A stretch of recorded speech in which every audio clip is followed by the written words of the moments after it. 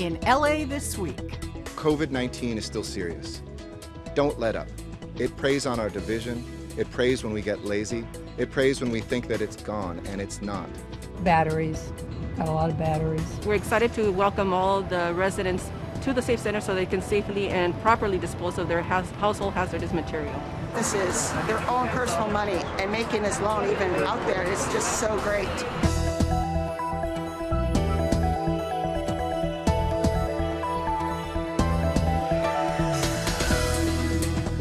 Hello, everyone. I'm Saida Pagan. Here's what's happening in LA this week.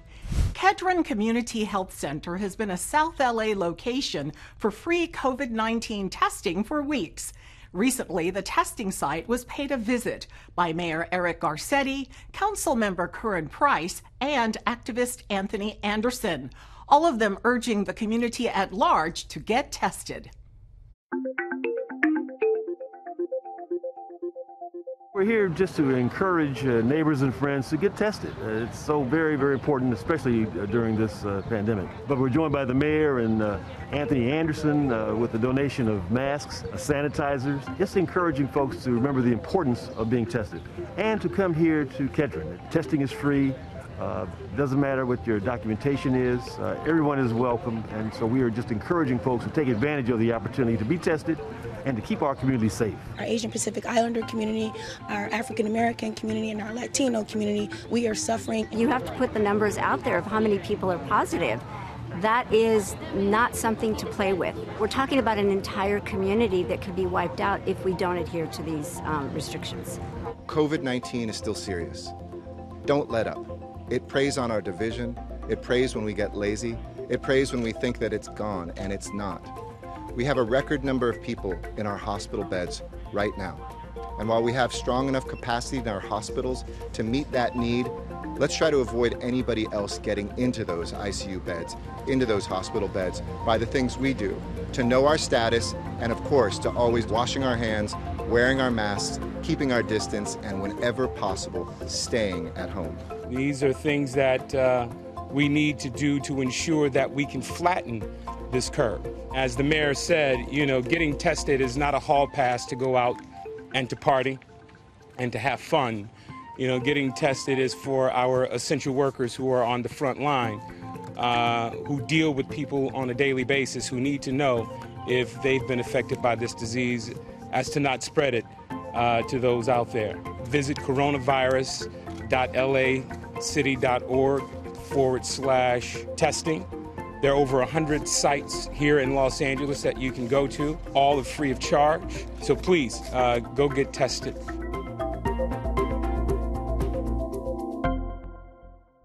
A nonprofit called The Change Reaction and John Lee of Council District 12 have been doing great work through their Small Business Relief Fund. And seeing that their work is far from over, they have extended the program to help even more small businesses. The latest small business to be saved from extinction is Joyce's Coffee Shop and Restaurant in Northridge.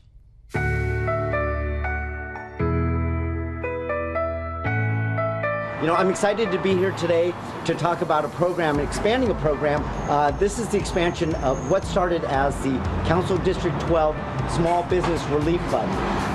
And in a few short months, we have been able to help over 30 businesses in our partnership with the Change Reaction. We've given everything to small restaurants, coffee shops. Um, we just gave one to San Carlo Deli. We just reopened them.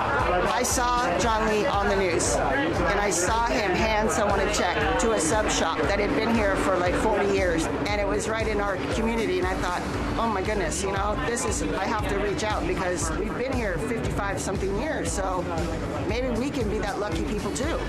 What this program allows them to do is zero interest loans over a longer three to five year you know timeline to give them that opportunity and that sense of security so that they can you know keep their doors open. Once we make our donation, we don't get it back. It's not a loan that comes back to the Change Reaction or me and my wife personally.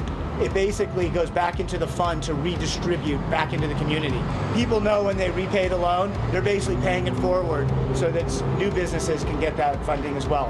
It has made us so grateful that two people would even consider putting money towards businesses, their own personal money, and making this loan even out there is just so great. What's great about what Greg is doing is he's not just running off doing it somewhere. He's actually partnering with the city officials to help figure out where that need is. And so it really is a, a partnership.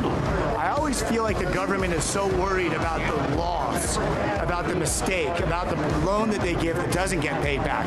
I'm not worried about that. I'm looking at the overall goal of saying, hey, if I can get 70% of these loans paid back and save 70% of the businesses, I look at that on the macro as being a victory. You know, 87% of businesses in the county of LA have less than nine, nine employees.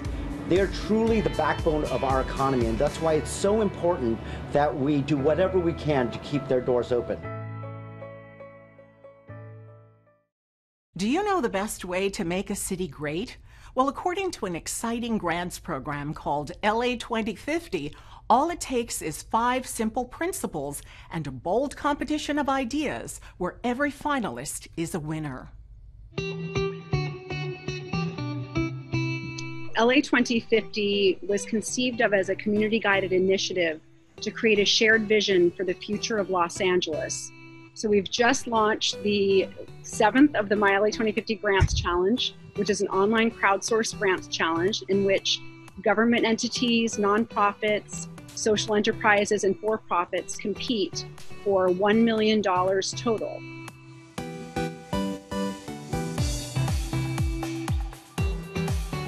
LA 2050 is designed to inspire activism and activity around making LA the best place to play, create, connect, live, and learn.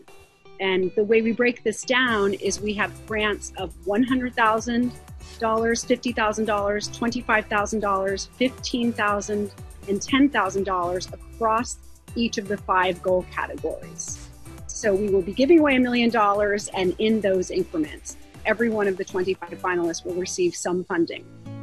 When I found out I was becoming a father, I panicked. What am I going to feed this kid?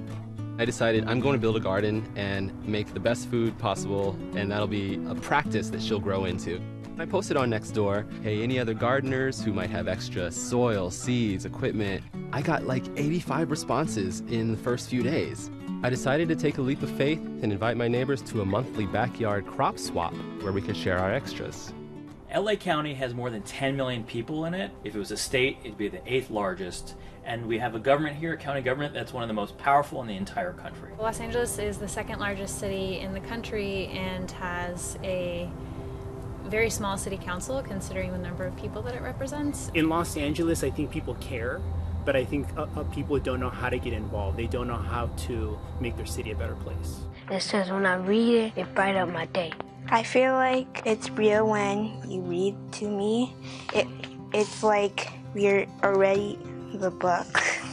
I feel kind of good.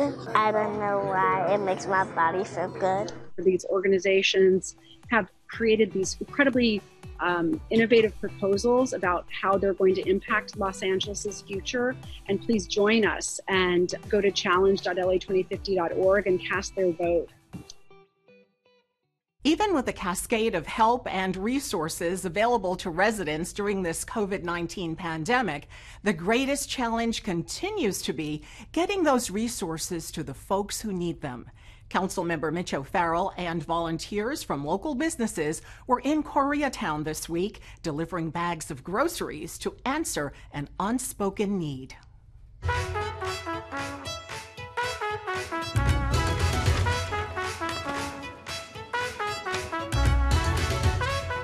All of these organizations came together um, many, many weeks ago now and decided to focus in on this community here in Koreatown to distribute into the thousands of meals uh, at this point.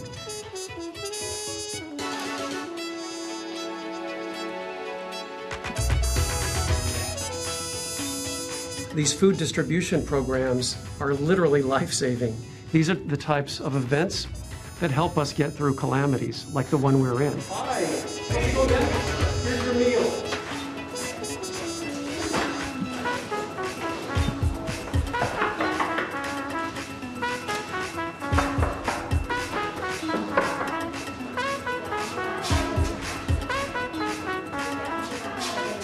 I've always known one thing, and that is it's the volunteer corps that make neighborhoods work better.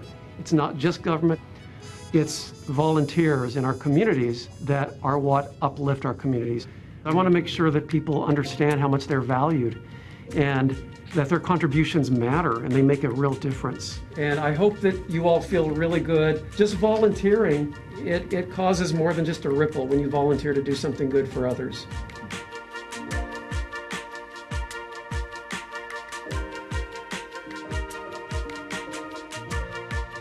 There's a lot to deal with right now, so it's going to take more people than ever with a solution oriented outlook on, on life in general. For the moment, some local government services that were halted during the stay at home order have been given the green light to resume operations. The reopening of safe collection centers allows Angelenos to finally dispose of cumbersome waste responsibly. Take a look.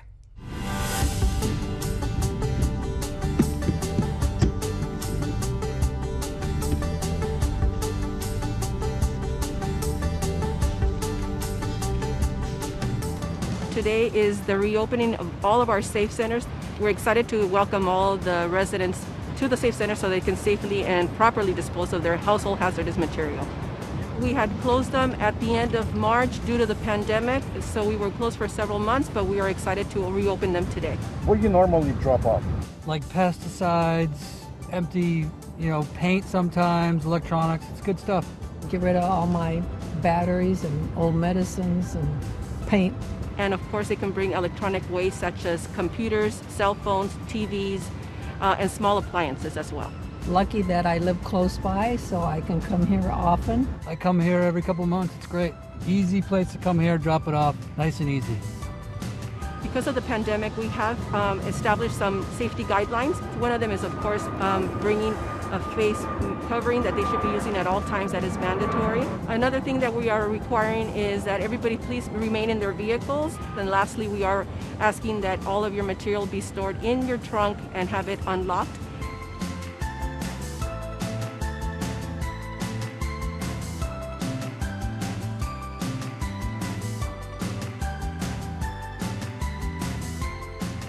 This is a free service that is offered to all City of Los Angeles and County of Los Angeles residents.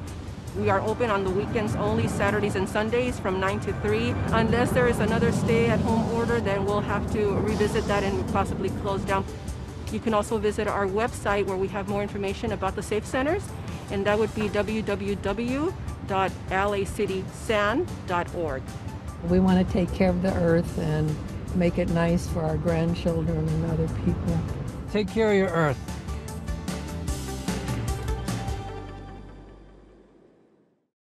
The Lucas Museum of Narrative Art makes six impressive hires.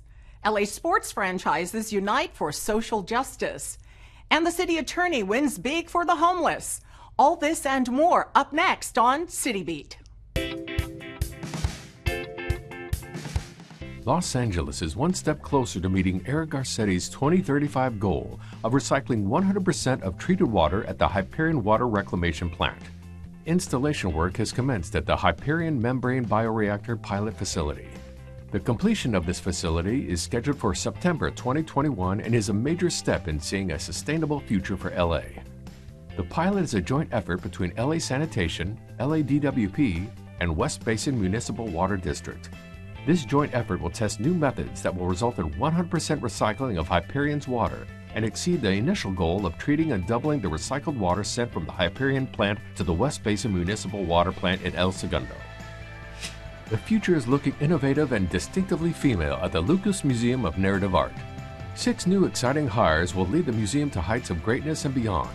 The dream team of Pilar Tompkins Rivas, Nanette Nuarca Schof, Amanda Hunt, Anais Disla, Larissa Gentile, and Erica Neal have all accepted the task of making the Lucas Museum a destination for any Lucasfilm exploration.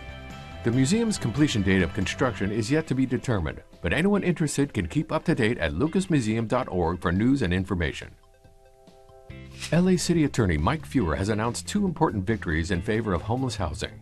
the California Supreme Court denied the petition for review filed by the Venice Stakeholders Association against the Pacific Sunset a Bridge Home Shelter. Second, the city prevailed against all causes of action filed against it so far in the challenge to the Griffith Park Bridge Home Shelter. The Venice shelter has 154 beds and the Griffith Park shelter has 100 beds and is set to open immediately. These facilities provide not only shelter but hygiene stations, storage, food, and management services of up to three years. 11 Los Angeles sport teams have come together for a five year collaboration that promotes social justice and ending racial inequality. Alliance LA is comprised of the Ducks, Angels, Dodgers, Chargers, Clippers, Los Angeles Football Club, Galaxy, Kings, Lakers, Sparks, and Rams. Alliance LA will partner with the nonprofit Play Equity Fund in helping support social equality.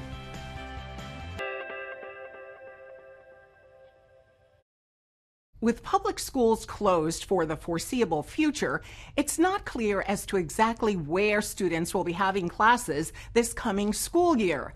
But the academic school year will begin soon, and Team Cedillo in Council District 1 wants their kids to be ready. So let the backpack giveaway begin.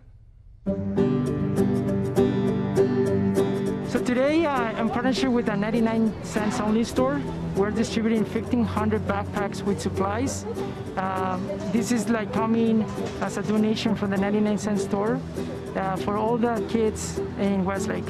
In the backpacks, they find uh, supplies that, like notebooks, pens, pencils, glue, uh, but also they're gonna find some like a hygiene uh, uh, supplies, like a mask and also hand sanitizer.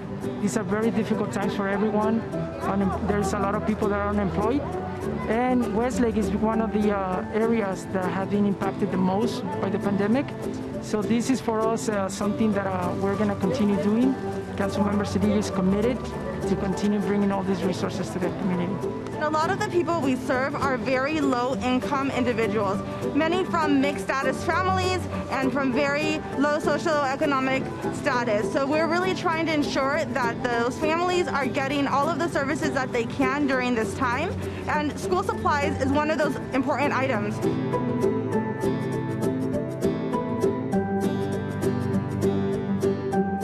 Love to be a part of the community. We want to be a part of the communities that we serve. We operate uh, in, in the communities of LA, and this is just a great opportunity to, to be a part of it and give back to the communities, give back to our customers that are so important.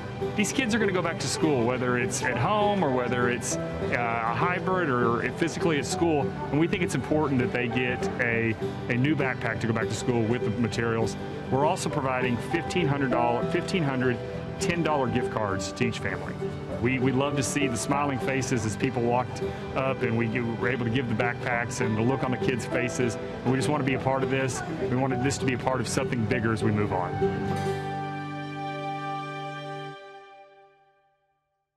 Okay, we can all agree that having restaurants open only to immediately close again is a bummer.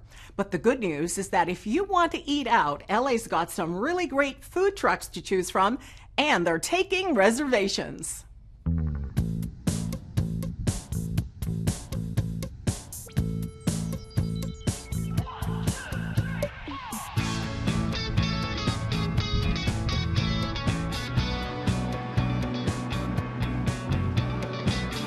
Trucks, we, we get together uh, every Thursday for Beach Eats right here in uh, Marina del Rey. Uh, I am uh, part of the uh, Rolling Lobster food truck. Pues yo los invito a que vengan y disfruten. Esto es algo muy bonito, este, que apoyen a los negocios pequeños como nosotros para que podamos seguir trabajando bien. So, obviamente nosotros seguimos todas las reglas de salubridad, uh, cuidamos bien el producto, que, que, salga, que esté rico, que esté saludable, todo, todo, todo está bien. Entonces nos gustaría que salgan más y que nos, nos, nos apoyen en ese sentido. The pandemic has definitely hurt our business. We were quarantined for the first six weeks once the pandemic happened, um, and we did not work at all. Once we felt that we quarantined and we felt safe, and we started doing home deliveries. So we started offering contactless deliveries to all homes from Orange County to Simi Valley, all over Los Angeles area. With COVID, basically the business has has dropped probably like 90%. It's slowly picking up. The, the positive part where a food truck is, is mobile, unlike a restaurant, unlike brick and mortar, we can actually go to folks. So we can go to apartment complexes. We can go to condo complexes. It's absolutely amazing because I really don't go out where other people are and this keeps you separated from them. As I'm older and I have issues, I stay in, except for this. Before, I mean, people would come and come to our window, order the food, and they would sit on the beach, and they would linger around, it would be like a social gathering, it would be really fun. Now it's a contactless ordering system and delivery. So they order through an app system from BFT app. They place their order there, they give us the time of pickup.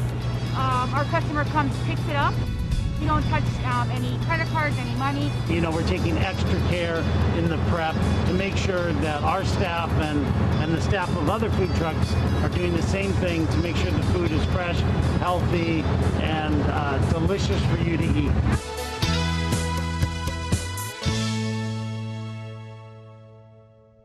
Los Angeles has seen dozens of terrific summer events canceled this year. This pandemic has made large public gatherings a really bad idea. But if there's one thing showbiz folks know how to do, it's improvise. Just check out what the team at the Pershing Square Concert Series is cooking up for all of us online.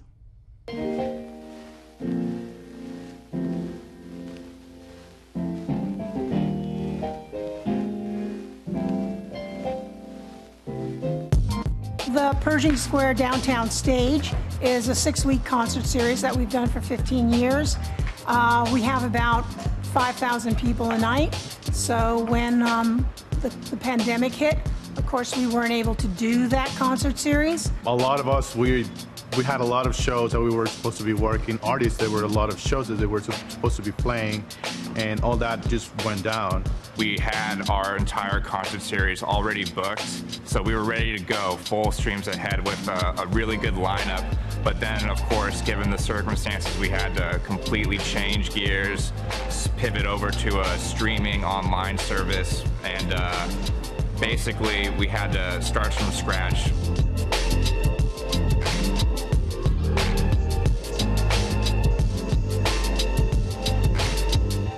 I said, okay, I've got a concept. What if we take the concert series virtual?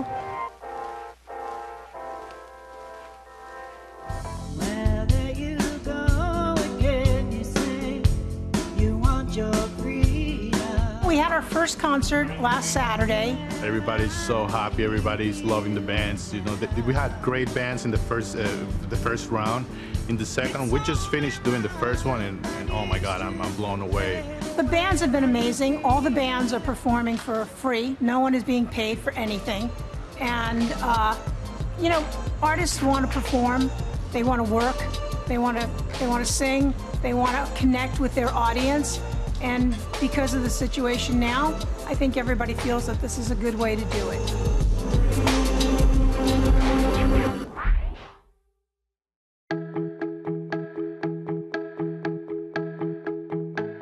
My role as Los Angeles City Controller is to, in many ways, oversee a lot of the spending of the City of Los Angeles. We also have a waste, fraud, and abuse unit. We do auditing, uh, financial and performance audits of all of the various departments of the city. Uh, we prepare the financial reports and we do the economic forecasting for the city as well. So anything having to do with the money of the city in one way or another comes through the controller's office. But among the things that we have put up recently is a COVID resource hub. And there are, of course, a lot of different websites with information about resources, but we wanted to organize it in a different way. And so we have really easy to use boxes that anybody can click on. So, for example, if you are a freelancer, or if you are a property owner, or if you are a renter, if you're a small business person, if you're a senior, there's a box for you to click on with resources that are specific to you. And of course, in many cases, there are many boxes that might apply to you, but this is meant to be an easy way to organize that information so that it's readily accessible.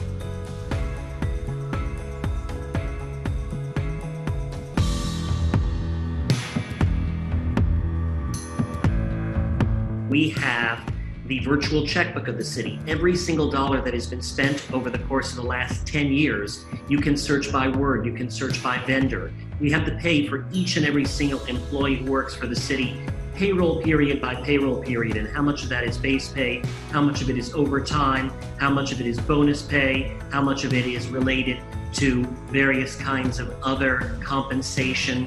And we have all of the special funds in the city, and there are hundreds of them and we keep track of that accounting in real time.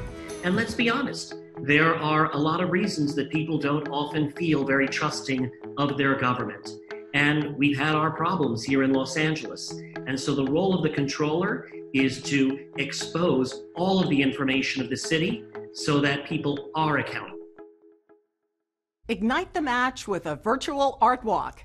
Enjoy South African cultural arts live or sign up for a music business masterclass. All this and more next on Virtual Things to Do.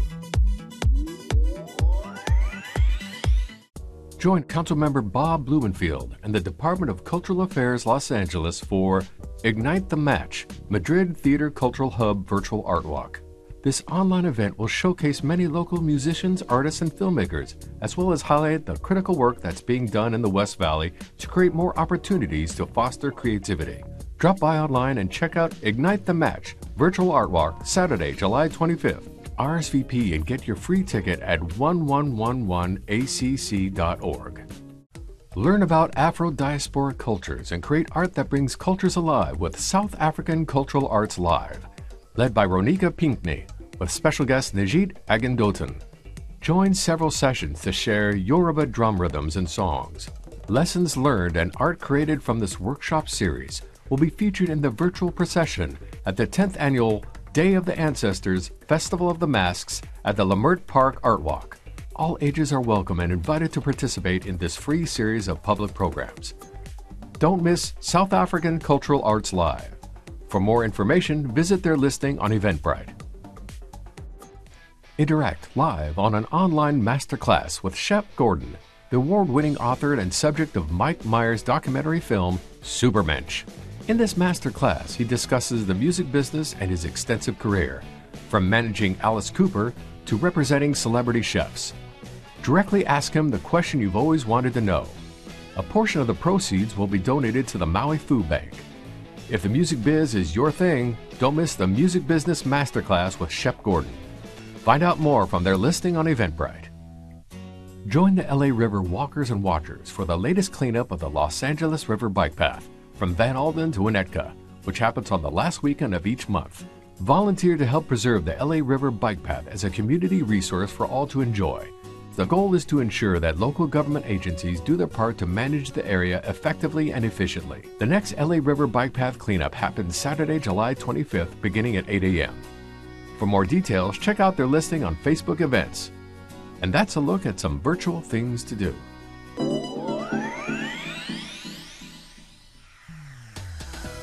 That's it for this edition. I'm Saida Pagan.